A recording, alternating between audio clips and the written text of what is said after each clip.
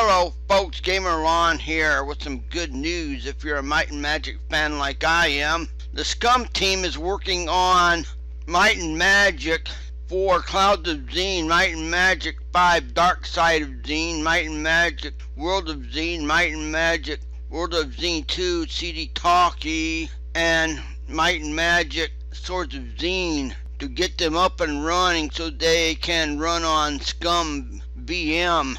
At this time, only the English versions of these games are ready for testing. So break out your copies. I think what they mean by copies here is the one you bought from the store, not pirated versions of the game or cracked versions of the game or you can buy them digitally on GOG. I guess you can help the ScummVM team test the games if you want. The ScummVM team wants you to be aware that uh, before you start testing the games, that combat plays a large role in the game. So this is actually good news. The ScummVM team is working on getting Might and Magic 4 through 5 to work on Scum, along with World of Xeen, World of Xeen 2, CD Talkie, and Swords of Xeen. So if you want to do more research on this, I'll post a link to the ScummVM website in the show more section of this video. So get ready, folks. Here comes Might and Magic, World of Xeen.